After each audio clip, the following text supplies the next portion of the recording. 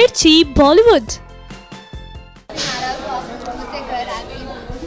हाँ असल में विजय इस बात से नाराज़ है कि बुलबुल ने इतना बड़ा कदम उसे बिना बताए उसे बिना कॉन्फिडेंस में ले किया और उसकी वजह से बहुत कुछ गड़बड़ हो सकती थी। वो तो ऊपर वाले की दुआ से सब ठीक हो गया, नहीं तो पुलिस उसके पीछे पड़ी हुई थी किडनैपिंग के चार्जेस लगा के उसे जेल हो सकती थी आ, उसके पेरेंट्स के आ, बच्ची के पेरेंट्स पीछे पड़े हुए थे।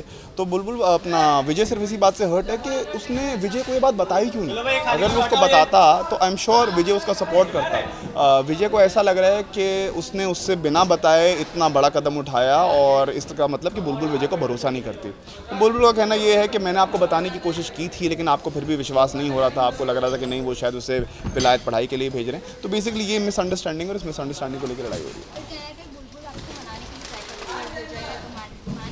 ऑफ़ कोर्स क्योंकि उसको पता है कि विजय भी अपनी तरफ़ अपनी जगह पे सही है और बुलबुल भी एक सेंस में अपनी जगह पे सही है।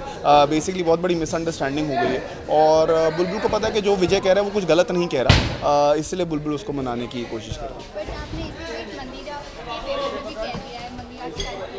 हाँ, हाँ क्योंकि इस पूरे केस में ऐसा ही हुआ था कि मंदिरा ने अब पता नहीं गेम प्लान के तहत किया कि कैसे किया लेकिन उसने वो सारी चीज़ें की जो विजय एक्सपेक्ट करता था। विजय चाहता था कि उससे पूछा जाए उसको कॉन्फिडेंस मिल लिया जाए उसके हिसाब से चीज़ें हों और मंदिरा ने एग्जैक्टली exactly वैसा किया। इसलिए उसको मंदिरा का बिहेवियर बहुत ही अच्छा लगा इस पूरे केस में इसलिए उसने हल्का सा ताना भी मारा बुलबुल को कि मंदिरा ने बहुत सही किया और तुमने सही नहीं किया।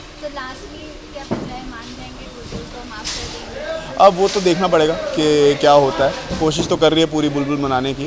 ऊपर से मंदिरा भी अपनी लगी होगी साइड पे तो दोनों अपनी अपनी तरफ़ से कोशिश कर रही हैं। अब देखते हैं विजय क्या करता है।